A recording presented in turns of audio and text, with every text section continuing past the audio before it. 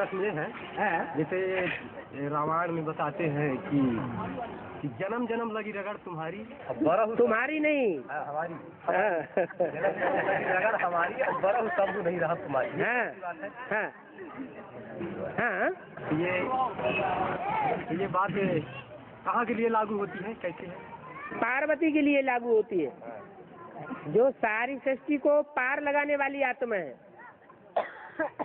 और खास करके सृष्टि का जो बाप है उसको पार लगाने वाली आत्मा है उसके लिए लागू होती है। उनको जन्म जन्म के लिए। जन्म जन्म में लगी रगड़ हमारी हमारे तिरसठ जन्म की भी रगड़ है। क्या?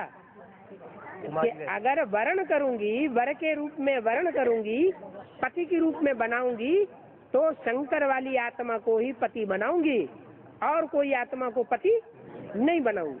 अरे 500 700 करोड़ ये डॉक्टर्स की दुनिया है 500 700 करोड़ पत्तों में कोई एक पत्ता एक एक्टर तो ऐसा होगा जो जन्म जन्मांतर एक ही आत्मा के साथ संबंध जोड़ता हो पति पत्नी का?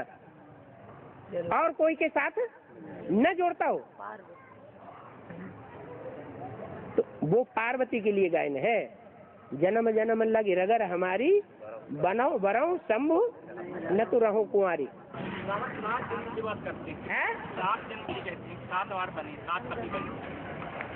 तो कथा कहानियाँ हैं। जन्म के नारी का ही रूप लेती है नहीं।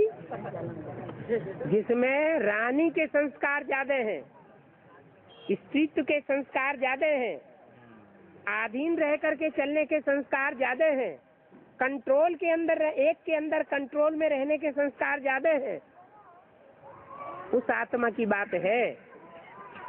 सब की बात नहीं है। आया समझ में? तो बाबा वो आत्मा एक एक। वो नारी का ही रूप लेती है ज़्यादा जन्म नारी के लेगी। जो बाबा ने बोला कि एक जन्म स्त्री का और एक जन्म पुरुष का मिलता है। कब? सत्युग त्रेता में। बिल्कुल बराबर चलता है। बैलेंस बिगड़ता नहीं। और त्रेता के बाद जब द्वापर शुरू होता है तो दो नियम हो जाते हैं। कोई आत्मा को दो जन्म स्त्री के लगातार मिल सकते हैं, ज़्यादा नहीं। और कोई आत्मा को पुरुष का जन्म दो बार मिल सकता है, ज़्यादा नहीं। तो कोई ऐसी भी तो आत्माएँ होंगी, जो तिरसठ जन्मों में, द्वापर कलयुग में दो दो जन्म स्त्री के दो दो जन्म स्त्री के लेती रहती होंगी और एक जन्म पुरुष का लेती होंगी। और कोई ऐसी भी होंगी? कि दो जन्म पुरुष के एक जन्म स्त्री का दो जन्म पुरुष के एक जन्म स्त्री का लेती होंगी? नहीं तो बाबा कहते हैं ना हाँ। कि जो माने बाप को ज़्यादा अभी संगम में याद करते हैं वो पुरुष ही बनते हैं। हाँ तो संगम में याद करने वालों में जो संख्या होगी वो रुद्रमाला के मणकों की ज़्यादा होगी या विजयमाला के मणकों की होगी? विजयमाला में तो अभी ज्ञान में ही नहीं आए। उन्होंने पहचाना ही नहीं है। उनके पीछे तो माया लगी हुई है हाथ धोके। अभी तो मर गई।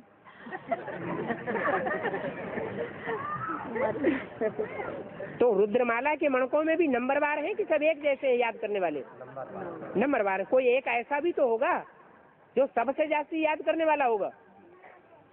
तो उसमें पुरुषत्व के संस्कार आएँगे या स्त्रीत्व के संस्कार आएँगे? आत्मा पुरुष है या स्त्री है? प्रकृति स्त्री है और आत्मा पुरुष है।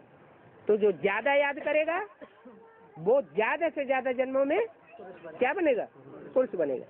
लेकिन सत्युग त्रेता में नहीं। कहा? द्वापर कलयुग में। मन प्रजापिता वाली आत्मा अथवा शंकर वाली सोल ज़्यादा याद में रहने के कारण उसमें ये पुरुषत्व के संस्कार ज़्यादा भर जाते हैं। इसलिए वो दो जन्म पुरुष के और एक जन्म स्त्री के दो जन्म पुरुष के इस तरह लगातार चल सकती है। और ऐसे ही पार्वती की आत्मा दो जन्म स्त्री के और एक जन्म पुरुष का। तो यही दोनों आत्माओं में बैलेंस बन जाता है। हाँ। यहाँ जो कह अभी जो है तो यहाँ बाबा अभी जैसे धर्म होते हैं जो अभी सीट चलते हैं बाबा सत्य साईं बाबा कहते हैं कि खूब चलते हैं इसमें। तो इसमें बाबा जो कहते हैं बीमार होते हैं वहाँ जाते हैं तो ठीक हो जाते हैं कैसे बाबा? रोगी होते वो भी ठीक हो जाते हैं वहाँ जाते हैं। सब ठीक हो जाते हैं क्या? कहते हैं बाबा भक्ति मार्ग में हर बातों का यादगार चलता है। तो आगे टाइम सन छत्तीस में ऐसा भी आएगा कि जो बाप के सामने आएगा सत्य साईं बाबा के सामने ठीक हो जाएगा। वो सामने आने मात्र से ही ठीक होगा। जिसे कहते हैं पारसनाथ। पारस पत्थर की क्या विशेषता है? जो संसर्ग में आया जो पत्थर है चाहे लोहा है अगर संसर्ग में आया तो परिवर्तित होकर के सोना सच्चा बन जाएगा? तो यहाँ का यादगार भक्ति मार्ग में साईं बाबा के सर के ऊपर रख दिया क्या सारी दुनिया 500 करोड़ मनुष्य आत्माएँ सब देवता बन जाएँगी? हॉस्पिटल में जाके? साईं बाबा के हॉस्पिटल में जाकर सब देवता बन सकते हैं क्या? सब निरोगी बनेंगे? सवाल ही पैदा नहीं होता।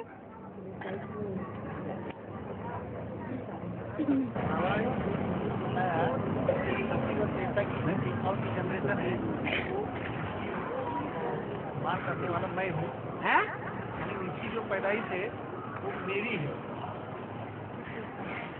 और द्वापर कभी की मनुष्य की अपनी है। बोलो क्या कर रहे की जो शरीर है बिल्कुल जो निरोगी या सुंदर बनाने की जो जिम्मेवारी है उसकी बाबा खुद कहते हैं। मेरी और द्वापर के बाद मनुष्य अपने अधिकार में गिरते हैं, तो वो मनुष्य पैदा करते हैं। वो भी दोनों की शूटिंग यहाँ हो रही है ना? सारी सृष्टि के रूपी ड्रामा की नाटक की शूटिंग कहाँ हो रही है? चाहे गिरती कला है चाहे उठती कला है चाहे भक्ति मार्ग है चाहे ज्ञान मार्ग है चाहे ज्ञान मार्ग की प्रारब्ध 21 जन्मों की है और चाहे भक्ति मार्ग की तिरसठ जन्मों की प्रारब्ध है सबकी शूटिंग कहाँ हो रही है? तो वो शूटिंग शिव बाबा कर रहा है या हम बच्चे कर रहे हैं? कौन कर रहा है शूटिंग? हम बच्चे रिहर्सल कर रहे हैं। ये थोड़े कहते हैं कि बाबा कर रहे हैं। जो श्रीमत पर चलेंगे वो 21 जन की शूटिंग करेंगे। जिस समय श्रीमत पर नहीं चलते हैं मनमत से चलते हैं मनुष्य मत पर चलते हैं तो द्वापर कली की शूटिंग करते हैं।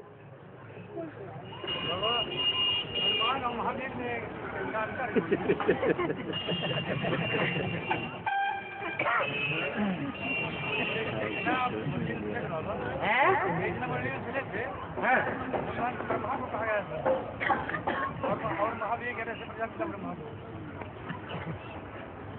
देखो, जो बीज है सारी दुनिया का, उसमें तो सारी दुनिया समाई हुई है। क्या? इसलिए मुरली में बोला, ऐसी कोई बात नहीं जो तेरे ऊपर लागू न होती हो। वो तो हनुमान भी है वो गणेश भी है वो राक्षस भी है वो ब्राह्मण भी है। इसलिए हनुमान चालीसा में बोल दिया चार युग प्रताप तुम्हारा है प्रसिद्ध जगत उजारा माना हर युग के आदि में पहला ब्राह्मण कौन बनता है? प्रजापिता। सतयुग के आदि में पहला देवता कौन बनता है? प्रजापिता। त्रेता की आदि करने वाला पहला क्षत्रिय कौन है? प्रजापिता। द्वापर की आदि करने वाला पहला विशेष कौन बनता है? आदम।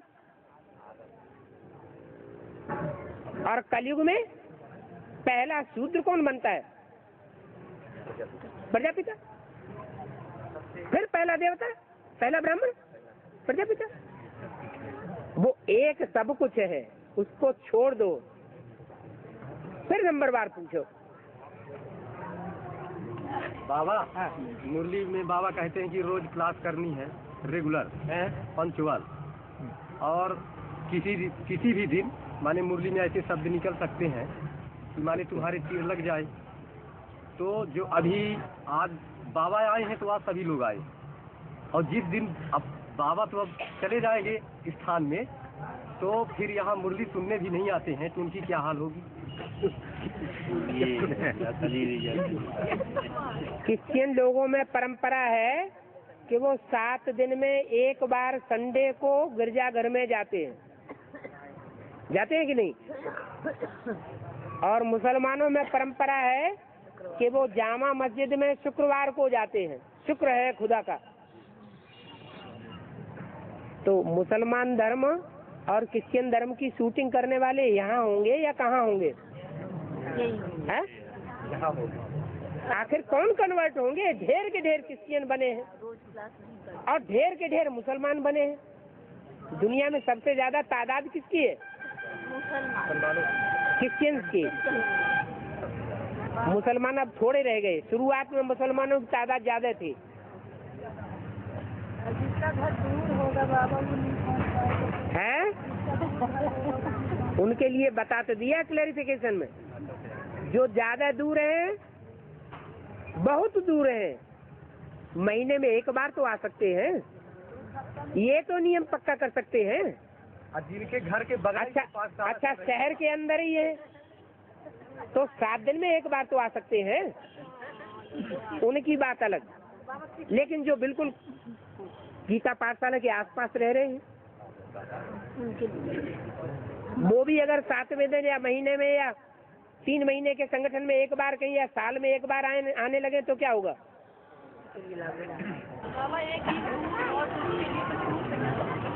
आजकल साधन बहुत हैं और पैसा बहुत है।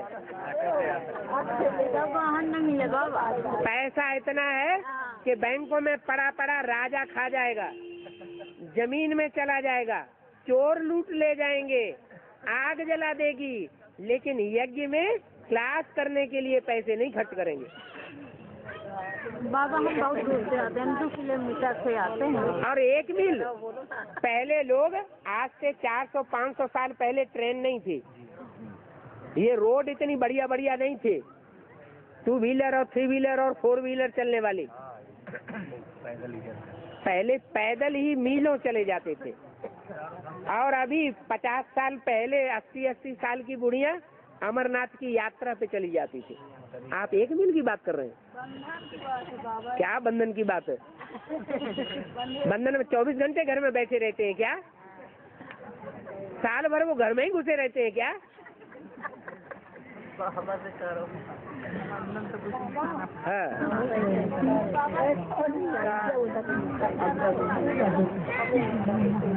ये कैसे? राम वाली आत्मा राजा भी बनती है। वो तो सबको मालूम है। तो ज़्यादा योगी होगा, ज़्यादा राजयोग सीखने वाला होगा तो बड़ा राजा बनेगा। ये तो कोई बड़ी बात नहीं। राम राजा, फिर राम प्रजा। क्या? राम की आत्मा क्या बनती है? प्रजा भी बनती है। ऐसे नहीं, बड़े से बड़ा राजा बनती है। वो प्रजा भी बनती है। सत्युग के अंत में क्या बन जाती है राम की आत्मा? प्रजा बन जाती है। ऐसी साहूकार प्रजा बनती है जो नारायण को भी उससे लोन लेना पड़ता है। और उसकी शूटिंग यहाँ होती है। जो आठवें नंबर का नारायण है सतयुग का। वो हवाई जहाजों में घूमता फिरता रहता होगा सन में।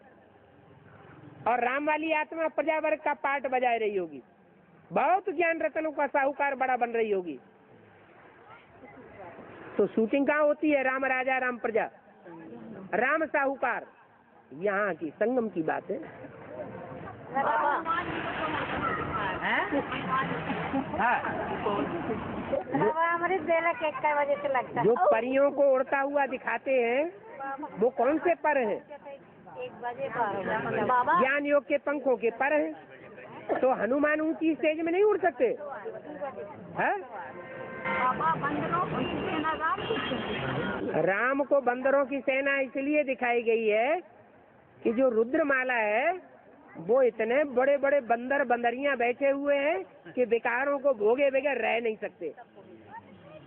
बड़े से बड़े कामी हैं बड़े से बड़े क्रोधी हैं बड़े से बड़े लोभी हैं बड़े से बड़े अहंकारी हैं और मोही हैं।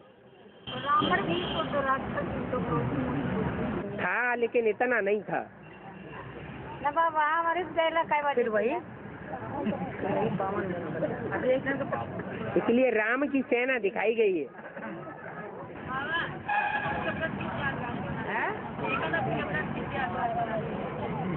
एकादशी का व्रत किस बात की यादगार है? एकादशी के दिन क्या करते हैं?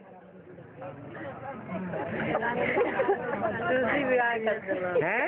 तुलसी का विवाह दिखाते हैं भूखे रहते हैं। तो यहाँ भी हमारा रोज व्रत है। क्या? हम कोई भी दिन विकारों का भोग न करें तो हमारी रोज की ये एकादशी है।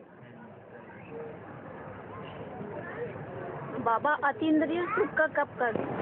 जब तक इंद्रिय सुख भोग रहे हैं, तब तक अतीन्द्रिय सुख महसूस हो नहीं सकता। गोप गोपियों से हाँ गोप माने जो गुप्त संबंध जोड़ते हैं बाप के साथ वो संबंध और कोई को पता न लगने पाए। तन है तन अर्पण किया जाता है। पत्नी पत्नी बनती है तो अपना तन किसके सामने अर्पण करती है? पति के सामने अर्पण करती है ना? अब माताएँ हैं, वो तो अंजाम कर चुकी हैं, कोई पति के साथ ये तन तुम्हारी सेवा में लगाएँगे। तन तो अर्पण कर दिया। तन तो पति के रूप में नहीं किसी को अर्पण कर सकती, नहीं तो बेविचारणी कही जाएँगी। वैश्या, वैश्यालय स्थापन करने की निमित्त बन जाएँगी। लेकिन मन तो अर्पण कर सकती है। मन से कम से कम से कम भगवान को अपना बच्चा तो बना सकती है। नहीं बना सकती? बना सकती। है। तो संबंध तो जुड़ जाएगा ना। इसलिए मुरली में बोला है माताओं को पहले पहले बाप को अपना बच्चा बनाना है। क्या बनाना है? बच्चा बनाना है। अब जब बच्चे का भाव माता के अंदर बैठ जाएगा तो दूसरा कोई संबंध बुद्धि में आएगा? नहीं आएगा ही नहीं। भावना इतनी ज़्यादा होती है माताओं में। तो और? सारे संबंध कैसे बनाएँगे बाप? मन से अभी शूटिंग तन से हो रही है या मनरूपी आत्मा से हो रही है? शूटिंग काय से हो रही है? मन के संकल्पों से सृष्टि रची ब्रह्मा ने या तन की एक्ट से शूटिंग की? मन है? मन के मन के संकल्पों से सृष्टि रची? तो मन अपना भगवान में लगाओ चाहे जिस रूप में उसको याद करो कोई पाप नहीं लगेगा। तन को शुद्ध बना के रखो। बच्चा मन के रूप में बाप को हम पति भी मान सकते हैं बच्चा भी मान सकते हैं, बच्चा हाँ जी हाँ जी सब संबंध तन से संबंध नहीं बनाना क्योंकि तन से दुनिया वाले गलत समझे। दुनिया वाले गलत समझे? है नहीं गलत क्या? दुनिया वाले क्या गलत समझेंगे ये तो गुप्त संबंध जब गाया होगा है? संबंध गोप गोप गोप गोप गोपियाँ माताएँ नहीं बनेंगी क्या? बने। लेकिन जो मन के अंदर संकल्प है बार बार संकल्प आता है तो वो गुप्त भी तो रख सकते हैं कि दूसरों को बोलना ज़रूरी है। और बिंदी। जो वृक्ष पैदा होता है तो वृक्ष को कारण नहीं कहेंगे। जड़ों को कारण नहीं कहेंगे, लेकिन बीज को क्या कहेंगे? कारण है तो कृति होगी, कार्य होगा। बीज है तो जड़ बनेगी, तना बनेगा, टहनियाँ बनेंगी, पत्ते बनेंगे, फूल बनेंगे, फल बनेंगे। नहीं तो नहीं बनेंगे। तो इन सबका कारण कौन है? बीज। एक ही है। जो सारे वृक्ष का मनुष्य सृष्टि रूपी वृक्ष का पति है, वो वृक्षपति है। और जो सारे वृक्ष का पति है वो पति है। बृहस्पति के आने से बृहस्पति और शुक्र की दशा हो जाती है। हाँ तो वो शुक्र की दशा और बृहस्पति दशा कैसी कहलाती है? शुक्र नहीं शुक्र ज़्यादा बलवान है कि बृहस्पति ज़्यादा बलवान है? तो बलवान की दशा के अंदर छत्र छाया के अंदर रहना अच्छा या जो कमज़ोर है उसकी छत्र छाया में रहना अच्छा बलवान की छत्र छाया में रहना। और हाँ। हाँ। विष्णु, प्योरिटी के पुरुषार्थ में आदि से अंत तक खड़ा रहता है। खड़ा रहता है कि गिर जाता है या बैठ जाता है? खड़ा रहता है। इसलिए उसको विष्णु को खड़ा दिखाया।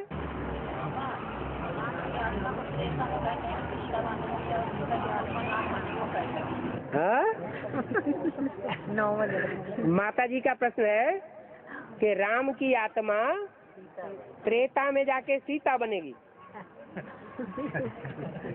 अब त्रेता में सीता बने कि राम बने क्या अंतर पड़ता है? वहाँ तो सुख से मतलब है। सीता भी उतना ही सुख भोगेगी राम भी उतना ही सुख भोगेगा। वहाँ ऊंच नीच तो हो होता ही नहीं है। यहाँ की बात है। यहाँ राम वाली आत्मा एक के सिवाय और किसी के ऊपर विश्वास नहीं करती, श्रद्धा नहीं करती, विश्वास नहीं करती। एक शिव बाबा, दूसरा न कोई। और सीता की आत्मा? सीता की आत्मा? एक राम के अलावा और किसी को अपना पति नहीं मान सकती। अब हिसाब लगा लो। नौ जन्म है सतयुग में। संगम युग का मिला करके। संगम युग का पहला जन्म सतयुग के पहले वाले जन्म में ऐड हो जाएगा ना? जब हो जाएगा तो जो जन्म देने वाली आत्माएँ हैं वो आठ जन्म लेंगी सतयुग में या नौ? है? जन्म लेने वाली नौ नौ जन्म हुए ना? यहाँ उनके नौ जन्म हुए। और त्रेता में जाके? आठ जन्म? बारह जन्म। और जो वहाँ बच्चे के रूप में पैदा होंगे? कहाँ? सतयुग में। उनके आठ जन्म होंगे। और त्रेता में? तेरह जन्म होंगे। त्रेता के जन्म। तो जो राम सीता वाली आत्माएँ हैं उनको स्त्री पुरुष स्त्री पुरुष ये चेंज करते जाओ। हाँ, तो सतयुग के आठवें जन्म में क्या बनेगी? नौवें जन्म में क्या बनेगा? हिसाब निकल आएगा।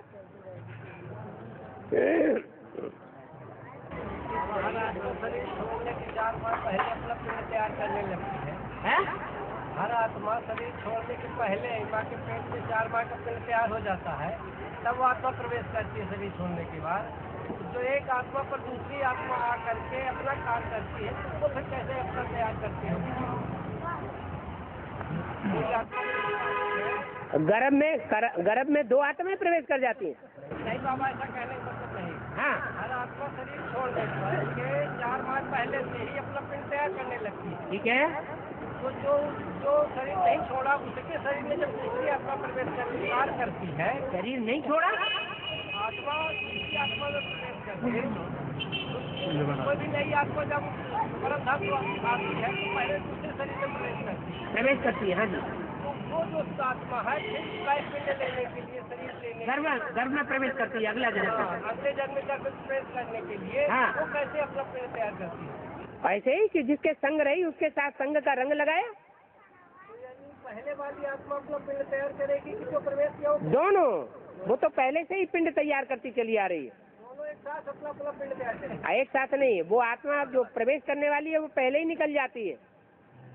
पहले निकल जाए पहले ही निकल जाती है जन्म ले लेती है। और जो शरीरधारी आत्मा है वो बाद में शरीर छोड़ करके फिर जन्म लेती है। जो पहले निकल गई आत्मा वो अपने शरीर में जिसमें जाना है? वो हाँ। वो कैसे तैयार किया? गर्भ से। तो बिल्कुल बिल्कुल उसका स- उसका संग का रंग जिसको लगा जिसमें प्रवेश किया उसका संग का रंग उसको लग जाता है। सुप्रीम सोल को संग का रंग नहीं लगता। धर्म पिताओं को और उनके फॉलोअर्स को सबको संग का रंग लगता है और उनको गर्भ से जन्म लेना पड़ता है। और एक प्रश्न है कहते सब बंधु नुकसान है? हैं? सब सब व्यापार जो चल रहे हैं आज सब नुकसानदायक है। इनके अपने बच्चे हैं काम कर हैं उनके लिए तो कैसे काम किया जाए? ज्ञान भी सुन रहे हैं और व्यापार भी ना करें। और अगर प्रवृत्ति मार्ग में बच्चे हैं जिनका दायित्व पूरा करना है।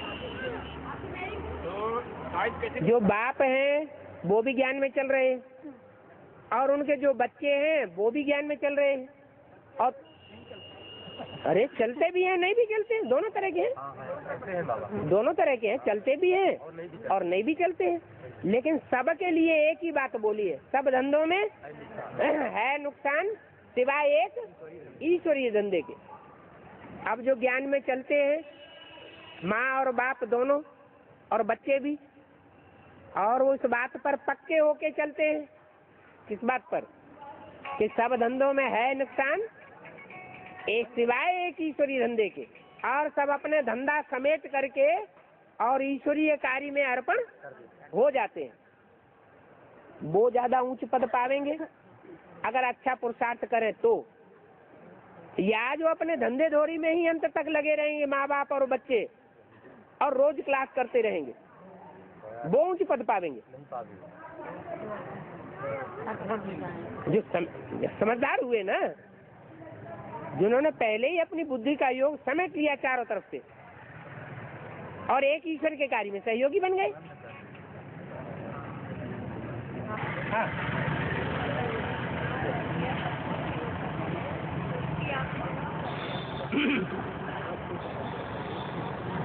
माता जी कह रही अहिल्या पत्थर बन गई तो उसकी आत्मा कहाँ चली गई? जैसे राम जी की सेना में बंदर बन गए तो आपको पता चला कि बंदर बन गए या बंदर बुद्धि बन गए? हैं? बंदर बुद्धि बन गए तो ऐसे ही अहिल्या पत्थर नहीं बन गई, पत्थर बुद्धि बन गई। इतनी पत्थर बुद्धि बन गई कि उसकी बुद्धि में मुरली सारी रट जाती है। क्या? इतनी ताकत होती है माया में स्मृति शक्ति की कि मुरली एक बार सुन ले तो चार पाँच पेज की मुरली ज्यों की त्यों एक एक अक्षर सुना सकती थी। क्या? माया कहो, अहिल्या कहो, अहि माने सांप ले आ माने ले आए। क्या? भगवान को नहीं पहचाना। लेकिन सेवा करने गई तो कोई सांप मिल गया। चुमने चाटने वाला। और उसमें चिपक गई। और उसको बड़ा मान लिया। और भगवान ने भले कहा कि भिखारी को नहीं लाना तो भी उससे लगाव लग गया ना तो सर्प को उठा के ले आई। अही को, अही माने सर्प। सर्प को उठा के ले आई तो नाम क्या पड़ गया? अहिल्या। पत्थर बुद्धि बन गई।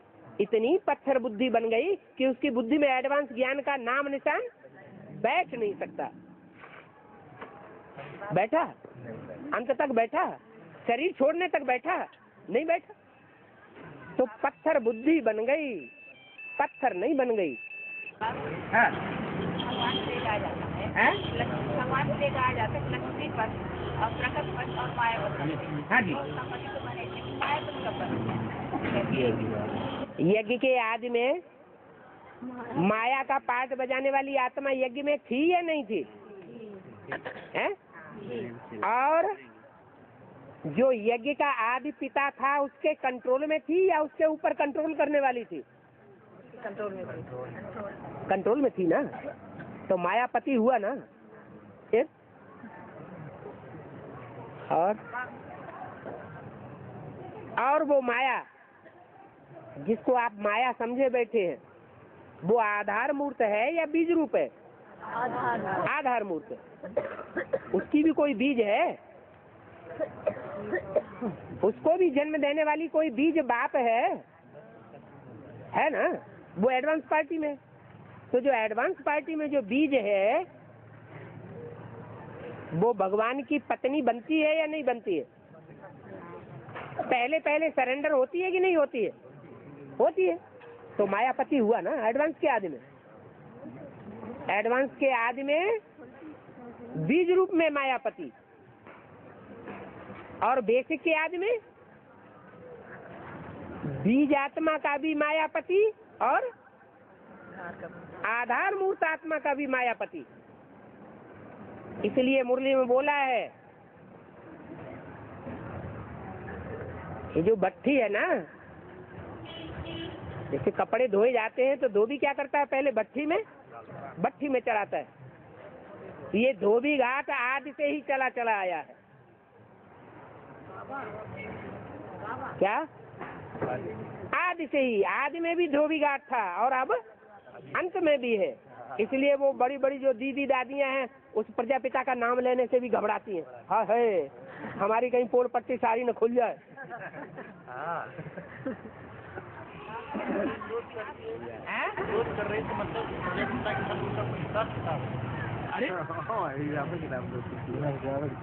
बिना हिसाब किताब के ऐसे हो जाएगा। भयंकर विरोध हुआ था यज्ञ के आदि में। इसी बात पर लड़ाई- यज्ञ में लड़ाई किस बात की होती है?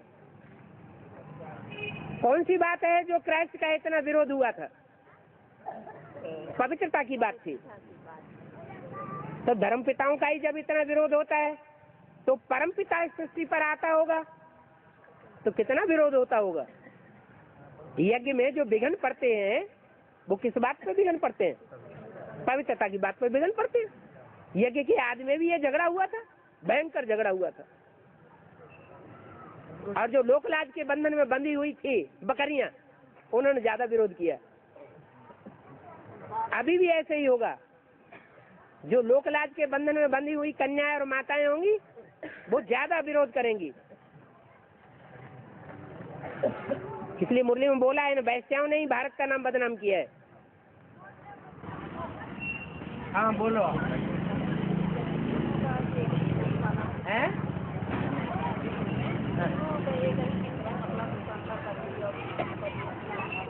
हाँ, तो ब्रह्मा कुमारियाँ क्या कहती हैं? वो भी तो यही कहती हैं कि आत्मा तीनों पार्ट बजाती है। ब्रह्मा वाली आत्मा ब्रह्मा का भी पार्ट बजाती है। वो ही विष्णु बनेगी। ब्रह्मा ही शंकर है। और कोई न ब्रह्मा है, न कोई शंकर है, न विष्णु है। एक ही सौ परसेंट ब्रह्मा है, एक ही सौ परसेंट विष्णु है और एक ही सौ परसेंट शंकर है। हाँ तो एक ही चित्र दिखाई दिए। भक्ति मार्ग में भी कहते हैं त्रिमूर्ति ब्रह्मा। और थोड़ा धीरे धीरे धीरे कोई हाँ।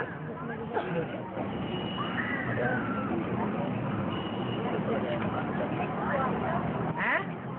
हैं? समा गई हाँ। अभी अभी सोने की द्वारिका तैयार होगी कि नहीं होगी? हैं? हो रही है। तो वो समुद्र में समाई जाएगी या नहीं रहेगी? ऐसी ही बनी रहेगी। हैं? अरे त्रेता के अंत में क्यों समा जाएगी? अभी विनाश होगा तो समुद्र के अंदर नहीं समा जाएगी। हाँ। और? बाबा जी सतयुग से जैसे आठ गतियाँ चलती हैं हाँ। जो भी नारायण बनते हैं हाँ। बेटा उनके जो लड़के बच्चे होते हैं वो भी नारायण ही बनते हैं। बिल्कुल बने। नारायण के बच्चे नारायण ही बने और क्या बने? राजा का बच्चा राजा नहीं बनेगा? द्वापर में बनते हैं ऐसे वहाँ भी बनते सती में बनते। हैं में भी। राजा का बच्चा राजा बनेगा नारायण का बच्चा नारायण बनेगा। आखिरी नारायण है। वो लोन लेके राजा ही करता है। तो उसकी सारी राजाई लोन में चली जाती है। किसके लोन में? राम के लोन में। तो राम का राजा क्यों हो जाता है? फिर राम की डायनेस्टी चालू हो जाता है। बाबा प्रकृति के पास में कौन कौन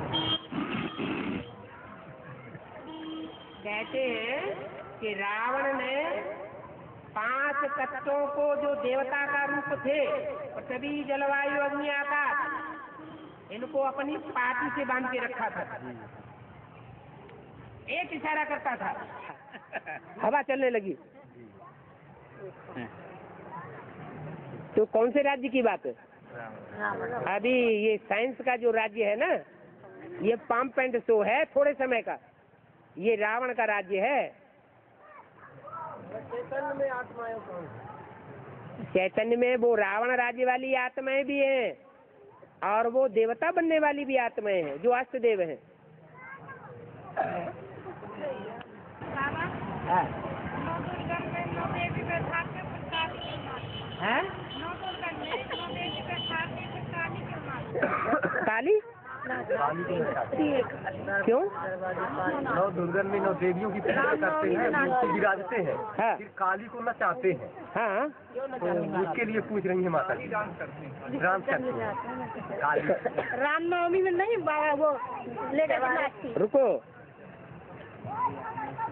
शंकर जी को महाकाल कहते हैं। हैं? जब दुनिया का विनाश होता है तो महाकाल डांस करता है कि नहीं? तो महाकाली डांस नहीं करेगी? है? महाकाली ज़रूर डांस करेगी। है? जो उदय शंकर डांस है, जुगल डांस वो सिनेमा में देखा कि नहीं? टीवी में देखा है? वो उदय शंकर जो डांस है, वो सूर्य जब उदय होता है तो वो उदय शंकर जुगल डांस शुरू करता है। हाँ, राहु ऐसा है जो सबसे बुरा है। भयंकर है उसकी दशा बहुत खतरनाक है। हाँ। चंद्रमा को ग्रहण क्यों लग जाता है? चंद्रमा अंधेरे में रहेगा तो ग्रहण नहीं लगेगा। ग्रहण माने क्या? पाँच विकारों का ग्रहण। जो पाँच विकारों का ग्रहण है वो चंद्रमा को लगता है या सूरज को लगता है? है? सूरज को नहीं लगता? लगता है सूरज ग्रहण? आप कह रहे नहीं लगता? एक तरफ़ सूरज है एक तरफ़ सूरज है बीच में पृथ्वी है एक तरफ़ चंद्रमा है। सूरज जब इधर चमक रहा है तो पृथ्वी की परछाया चंद्रमा पर पड़ती है। तो चंद्रमा का वो हिस्सा ढक जाता है छाया में। तो पृथ्वी वाले समझते हैं चंद्र ग्रहण हो गया। क्या? पृथ्वी का परछाया किसके ऊपर पड़ गया? चंद्रमा के ऊपर। तो अभी जो यज्ञ में कन्याएँ माताएँ हैं, उनकी मन बुद्धि के जो वाइब्रेशन है, वो कृष्ण बच्चे को परछाया में ले लेते हैं। क्या? और उस पर ग्रहण लग जाता है। वो भगवान बाप को नहीं देखता। क्या? वो अपने को ही भगवान समझे बैठा है। ये चंद्र ग्रहण है। सूर्य ग्रहण तो जाइए। है? सूर्य ग्रहण बाबा कैसे? सूर्य ग्रहण वास्तव में लगता ही नहीं। सूर्य तो आग का गोला है। उसके ऊपर परछाया पड़ेगा? नहीं पड़ेगा। ये पृथ्वी को ग्रहण लगा। पृथ्वी वासी ऐसा समझते हैं। ये विरोधाभास बीच में चंद्रमा आ गया। इधर सूरज है। इधर पृथ्वी वासी है। पृथ्वी वासियों के बीच में चंद्रमा आ गया। तो चंद्रमा की परछाया सूरज पर पड़ती है। पृथ्वी वाले समझते हैं कि सूरज को ग्रहण लग गया। लगता है क्या? सूरज तो आग का गोला है। उसके ऊपर चंद्रमा का क्या परछाया पड़ेगा? चंद्रमा खुद सूरज से रोशनी लेने वाला है या देने वाला है? ऐसा प्रसिद्ध क्यों हुआ? हैं? दुनिया में ऐसा प्रसिद्ध क्यों हुआ सूर्य ग्रहण भी लग भगत? भगत अंधे हैं? भगत अंधे हैं या सोझरे हैं? अंधे हैं। हाँ? हैं?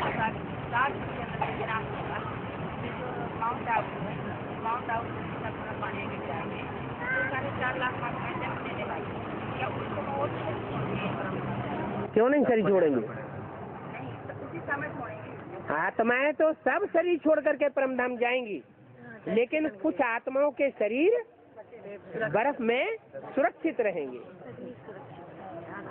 तो साढ़े चार लाख आत्माएँ सबके नहीं सुरक्षित रहेंगे। सबके कैसे? सब एक धर्म के हैं क्या? सबके ऊपर एक धर्म का छिलका चढ़ा हुआ है, या अलग अलग छिलके चढ़े हुए कोई का मोटा छिलका है, मज़बूत छिलका है, और कोई का बहुत महीन छिलका है। सूर्यवंशियों का छिलका कैसा होगा? बहुत महीन होगा। देवान का ही तो छिलका है।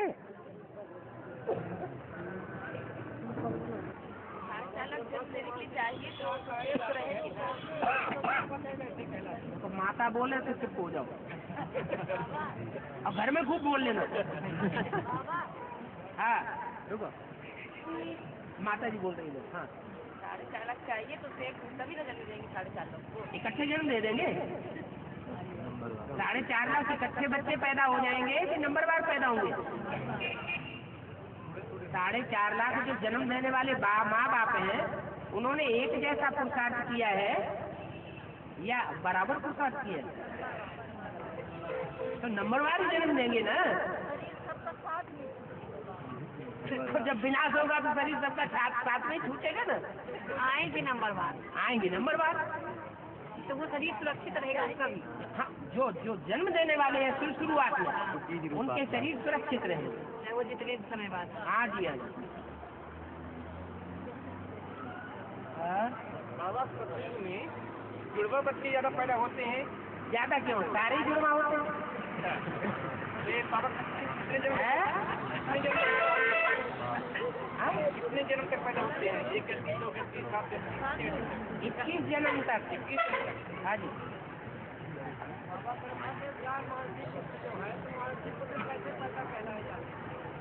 मन से उन्होंने मनन चिंतन मंथन किया। ना? मन से मनन चिंतन किया बच्चों को। अच्छा। और मन के संकल्पों से ही पैदा हुए। स्वतः ही मनन चिंतन करके मनन चिंतन की शक्ति से उन्होंने बाप से जन्म ले लिया। बाप कौन है प्रजापिता। पहला ब्रह्मा कौन है? प्रजापिता। प्रजापिता। प्रजापिता। तो प्रजापिता से ही इन चारों ने जन्म लिया ना?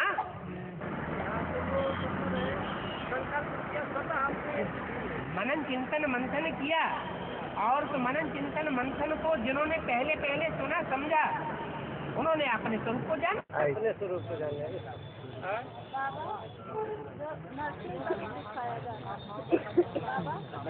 हाँ। तब तब जब फिर आत्मा दोबारा शरीर में आएगी बर्फ़ दब, दब, दब, दबने के बाद फिर बाबू उसको ध्यान रहेगा पुराने शरीर का। जब यहाँ इसी दुनिया में ऐसा एक्सीडेंट हो जाता है कि पूर्व जन्म की सारी जन्म की सारी स्मृति खलास हो जाती है। तरह एकदम फट गया। फट जाने के बाद किसी तरह ज़िंदा तो कर लिया लेकिन जन्म की सारी स्मृति चली जाती। तो ये छोटे छोटे एक्सीडेंट ऐसे होने में खत्म हो जाती। ये तो सारी दुनिया का एक्सीडेंट होगा तो याद रहेगा क्या? बाबा हाँ जी। जो नरसिंह दिखाया जाता है वो प्रहलाद को तो कैसा चलो भैया बस हो गया बस।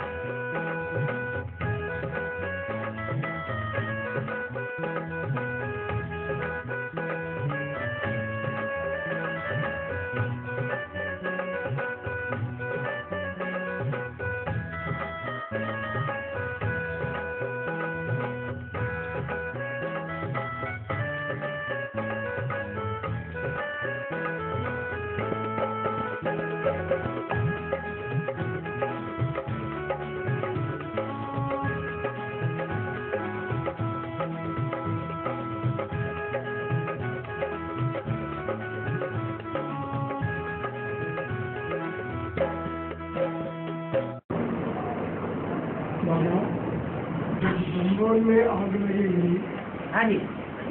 कब जलेगी? कब लगेगी?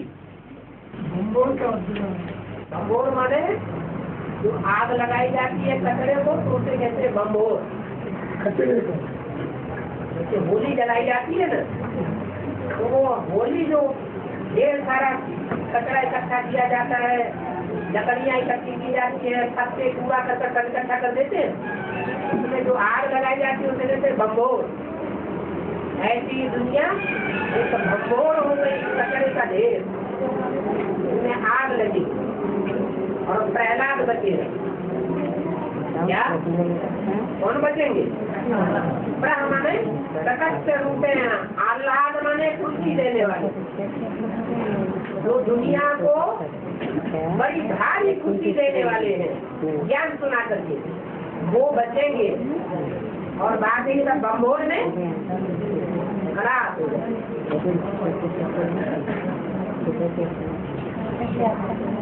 और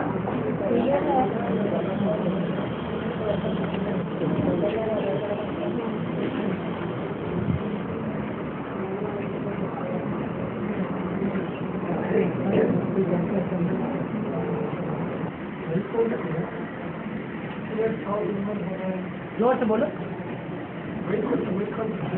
खड़े को बोलते हैं में कितना उम्र है वैकुंठ में उम्र उम्र उम्र की बात बात है।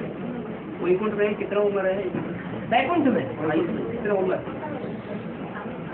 एवरेज एज पच्चीस की बताई है डेढ़ सौ साल। बैकुंठ जिसे कहा जाता है, वो सचिव से पहले होगा, या सचिव के टाइम पर होगा, या सचिव के बाद होगा। शास्त्रों में जिसका गायन है, बैकुंठ।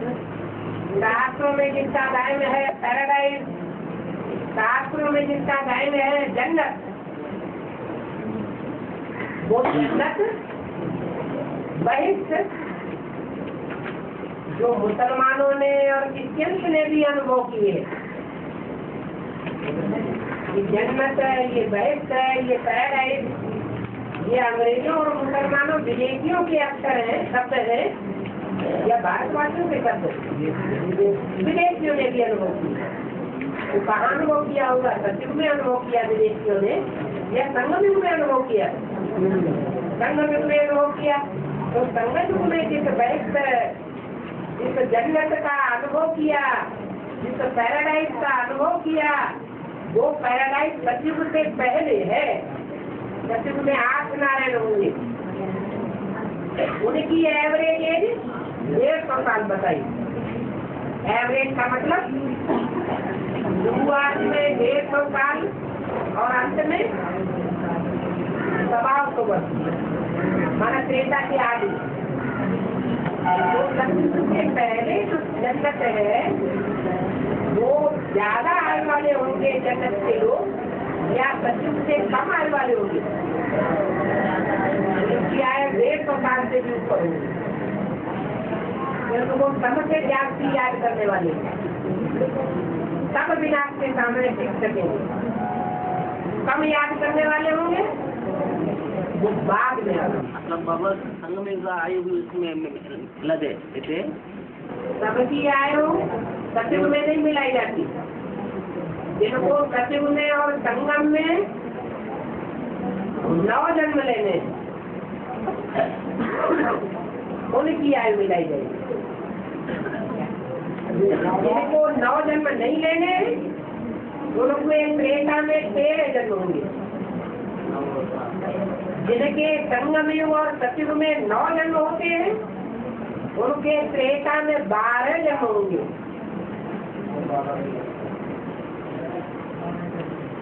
और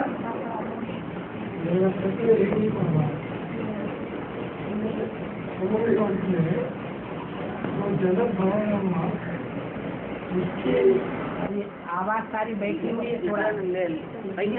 बता दो। तेलुगु भाषा में बता दो। खड़े होने से आवाज़ थोड़ी बढ़ेगी। बढ़ेगी। आवाज़ बैठी हुई है हाँ।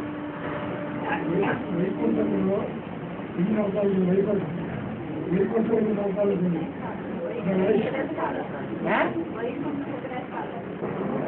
कितने साल का होगा? हाँ। अरे जिनके लिए वैकुंठ होगा, वो छत्तीस में खत्म हो जाएगा क्या? जिनके लिए वैकुंठ होगा, जिनको अतीसरी सुख शुरू हो जाएगा उनका अतीसरी सुख सन छत्तीस के बाद खत्म हो जाएगा क्या? उनको बीच में दुख मिलना शुरू होगा क्या? उनका चालू रहेगा, माने उनका शरीर ही रहेगा। वो शरीर से व्यक्त नहीं होंगे, लेकिन विनाश एक ऐसा एक्सीडेंट है, जैसे इस दुनिया में कोई का बड़ा एक्सीडेंट हो जाता है तो पुराने समय की सारी स्मृति चली जाती है। भारी एक्सीडेंट हो जाता है, सर फट जाता है तो पुरानी स्मृति गायब हो जाती है। ऐसे विनाश एक ऐसा बड़ा एक्सीडेंट है, जिसमें जो भी शरीरधारी बचेंगे, उनकी पुरानी स्मृति खलास हो बाकी आयु तो रहेगी। ये आयु उनकी शत्रु में ऐड हो जाएगी। उसी शरीर में अरे उनकी बात समझने दो। बात बोलो। हाँ समझ में आई बात?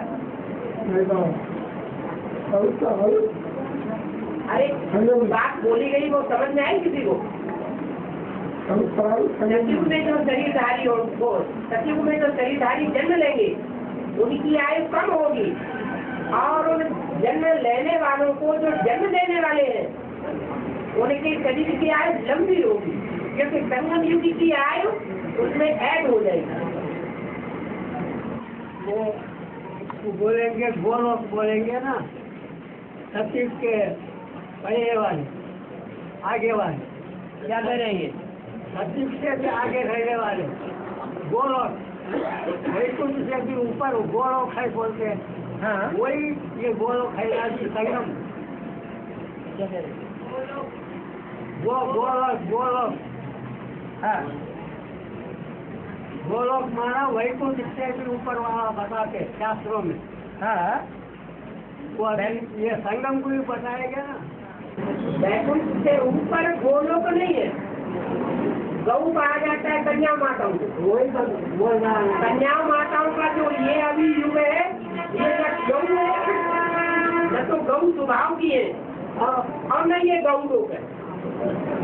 गऊ लोग, वो कहा जाएगा, जहाँ सत्य का संगठन होगा संगठन की सत्य का उसमें सब गऊ होंगी अच्छे अच्छे स्वभाव संस्थान सब दुख रूपी दूध देने वाली होंगी, कोई भी दुख देने वाली नहीं होगी।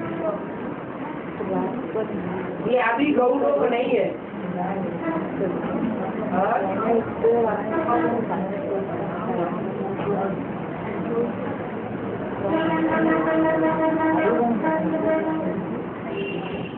बाबा का आवाज़ एक एक एक समझ आएगा समझ सचिव प्रारंभ होते हैं। कब से प्रारंभ होती है नौ लाख आबादी है। वो कृष्ण के जन्म से ही शुरू हो जाएगी क्या? नहीं। देख संबत एक एक एक तो तब से शुरू होता है जब से कृष्ण का संगम की जयंती प्रत्यक्ष होती है।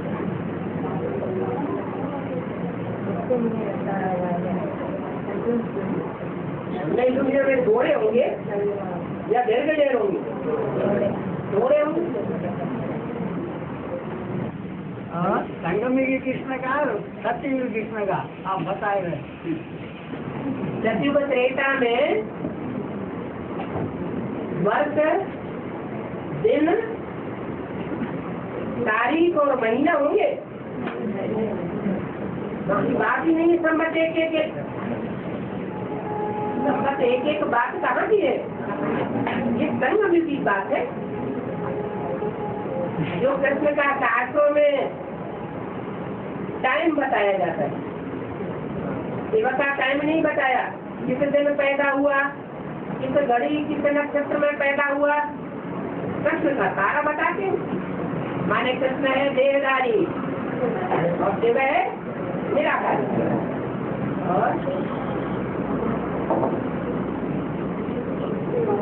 और?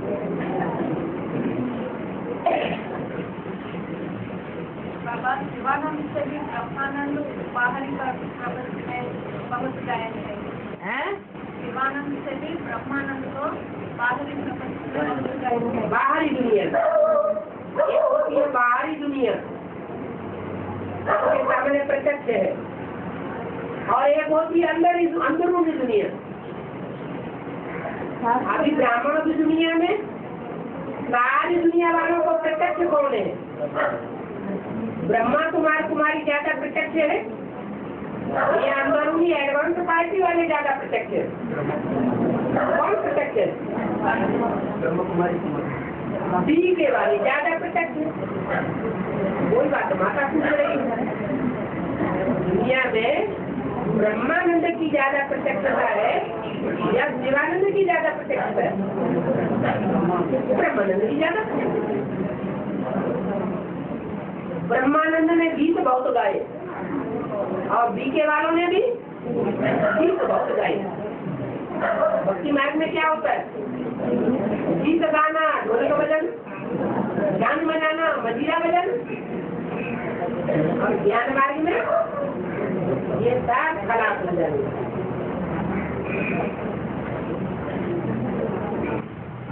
अगर बीस का तो भी बत्ती हो जाते हैं? है का होता है।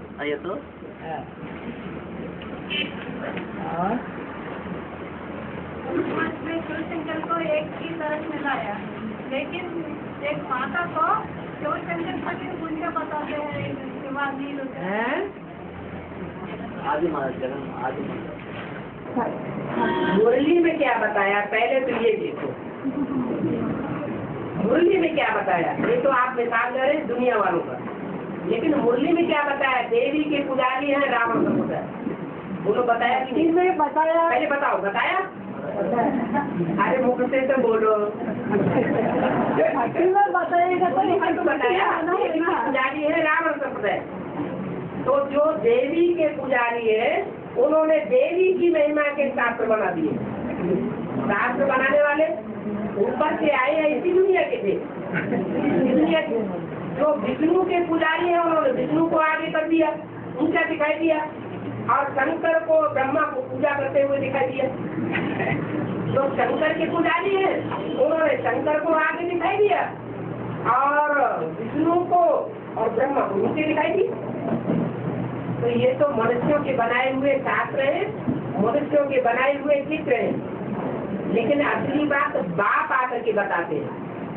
एक ही ऊँचे से ऊँचे है, या दो, चार, दस, बीस, पचास ऊँचे से ऊँचे।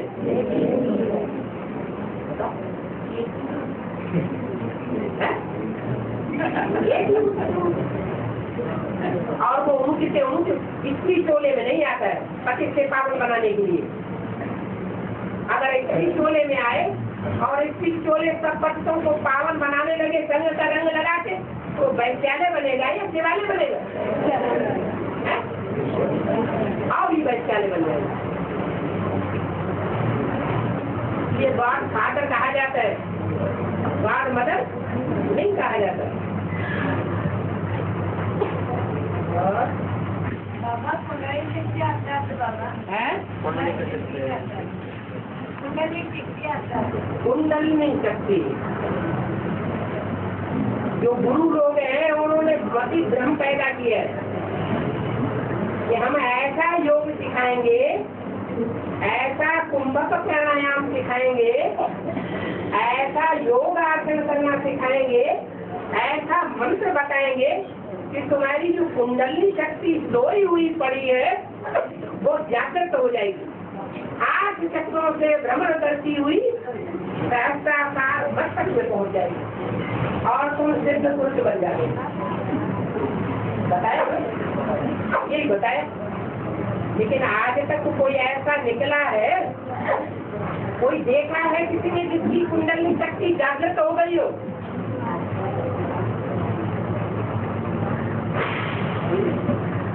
देखा?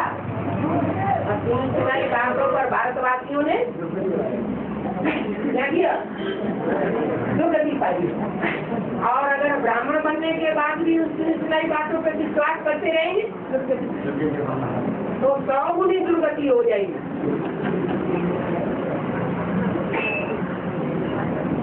अभी उन सुनी सुनाई बातों को छोड़ के करके एक बात याद करें कि पतितों को पावर बनाने वाला एक है।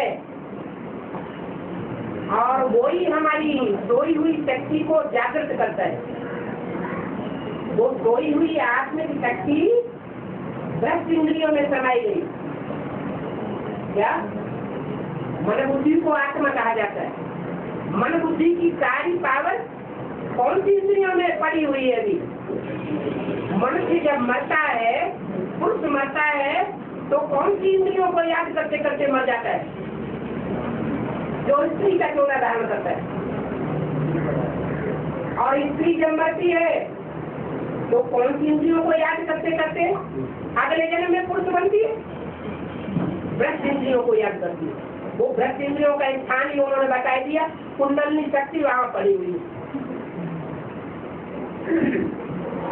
अब उस शक्ति को जागृत करने के लिए देवहान को नष्ट करना किसी ने नहीं सिखाया?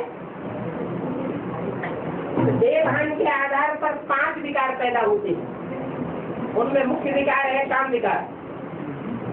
भगवान बाप आकर के बताते हैं कि तुम देह नहीं हो, तुम तो आत्मा हो। आत्मा इंद्रियों में नहीं समाई हुई है। मन बुद्धि रूपी आत्मा कोई भ्रष्ट इंद्रियों में नहीं पड़ी हुई है। कहाँ है? मस्तक में है। मस्तक को कहा जाता उत्तम अंग। ये उत्तम से उत्तम अंग है। क्यों? क्योंकि सबसे उत्तम शक्ति है आत्मा। और ये आत्मा उत्तम अंग में निवास करती है। जिस अंग में निवास करती है, उसका नाम उत्तमांग है। उत्तम से उत्तम अंग। प्रकृति का मध्य तो प्रकृति के मध्य में आत्मा को याद करो। कुंडली शक्ति जागृत कराने वाले क्या कहते हैं? कहाँ पड़ी हुई है कुंडली शक्ति? दस इंद्रियों के बीच में पड़ी हुई है। अरे भ्रष्ट तो है ही, और ज़्यादा भ्रष्ट कर देंगे। और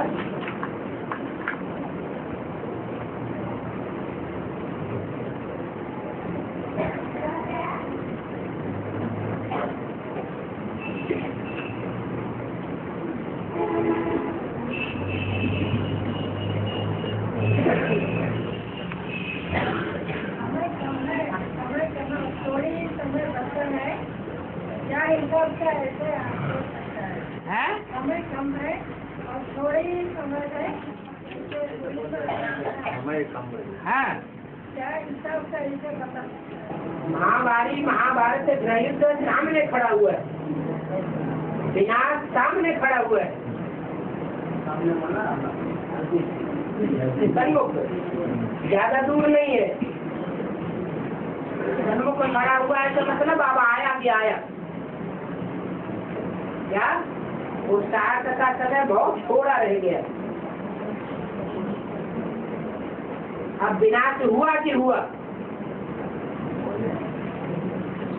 तो पहले ही जो पढ़ी जो अपना मेहनत का काम पूरा कर लेंगे, पढ़ाई पूरी कर लेंगे, नष्टो मोहा की लज्जा की पढ़ाई में पास अनुभव करने लगेंगे। वो विजयी हो जाएँगे। और ये मेरा ये मेरा, ये शरीर मेरा, ये शरीर के पदार्थ मेरे, घर मेरा, मकान मेरा कार मेरी कारखाना मेरा। मेरे मेरे में बुद्धि जाती है ना। तो बुद्धि को डिटैच नहीं कर पाया। तो बस यहाँ का यही धरा रह जाएगा, हाथ फेल होना शुरू हो जाएँगे। एक बार बिना शुरू हो गया तो फिर पुरुषार्थ नहीं हो पाएगा। इससे कहा पाँच हज़ार साल का है कैसे जोड़ता है कहा है वो पाँच हज़ार साल कैसे जोड़ना। है कैसे जोड़ना एक हज़ार साल में दूसरा दो, दूसरा हज़ार दो हज़ार हो गया। और तीसरा जोड़ दो तीन हज़ार हो जाएगा। के है? हाँ। कहते हैं कि ढाई हज़ार साल की गिनती नहीं है तुम्हारे पास। और ढाई हज़ार साल की हिस्ट्री है तुम्हारे पास। जो ढाई हज़ार साल की हिस्ट्री है, वो दुखी दुनिया की हिस्ट्री जब आदमी को दुख पड़ता है तो दिन गिनने लगता है। और जो दुख होता है तो समय जल्दी जल्दी बीत जाता है। तीसरी गाते हैं, समय तू जल्दी जल्दी बीत। दुख में दुख में तू पल भर नहीं पहरे लाख बिताए, तुझ पर पहरे और दुख में तू बिल्कुल रुक जाए, कैसी तेरी रीत समय जल्दी जल्दी ये दूसरी बात है क्या? है? दुख में एक एक सेकंड, एक एक दिन पूरा करना मुश्किल होता है। और सुख में समय पता ही नहीं चलता कहाँ चला जाता? काउंटिंग करने की दरकार ही नहीं। तो ढाई हज़ार साल जब दुख में थे तो कोई ने हिस्ट्री नहीं बनाई। कोई ने काउंट नहीं किया, कितने दिन गुजर गए, कितने महीने गुजर गए, कितने साल गुजर गए। और जब दुख शुरू हुआ तो काउंटिंग शुरू हो गई और? बाबा, ये 2018 से वन वन वन शुरू होएगा, छत्तीस से शुरू होएगा। वन वन बत्तीस के बाद शुरू होगा तो गिरेगा कौन? कोई गिरेगा? कोई गिरने वाला नहीं रहेगा तो शुरू होना, ना होना, बराबर हो गया।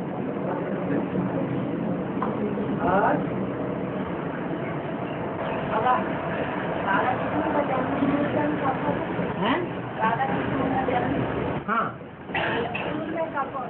स्कूल में कब होगा? जब जब देहमान छूटेगा क्योंकि देह का देह का कृष्ण खिलाने की इच्छा है ना? तो आग लगी हुई होती है माताओं की। कि देहदारी कृष्ण खिलाने को मिले देखने को मिले तो बड़ा मज़ा आएगा।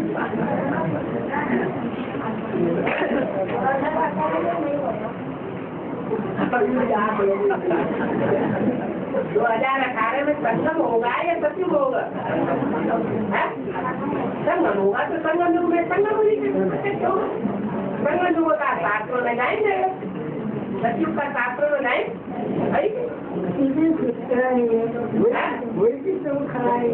हाँ बुद्धि से खिलाने की बात है समझने की बात है?